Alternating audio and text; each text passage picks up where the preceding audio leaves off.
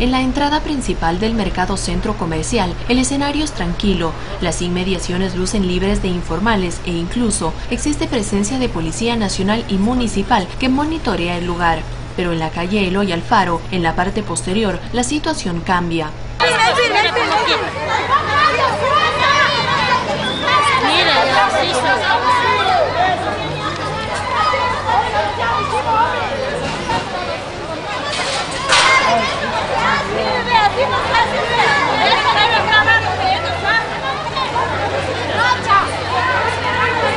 Y Bailón dijo que vendamos nomás aquí, que él no nos hace problema, nosotros hemos hablado con él.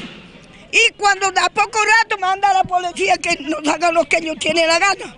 Mire cómo me hicieron ayer a mí, mire todito cómo estoy. El mismo panorama se evidenció este jueves, en donde los productos de los informales fueron decomisados, acompañados de más incidentes. Alguien me arrastraron, porque no quise dejarme de quitar la...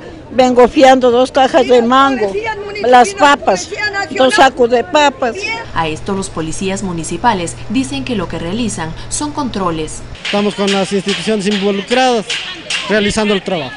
¿Les están eh, desalojando del lugar? Estamos controlando el lugar. Cansados de este pan de cada día, los comerciantes ambulantes tan solo piden que se les permita trabajar. Porque ellos nos quieren dar un puesto en el mayorista, nosotros no somos del mayorista, nosotros somos de aquí del centro comercial, que nos dé un puesto aquí en el centro comercial.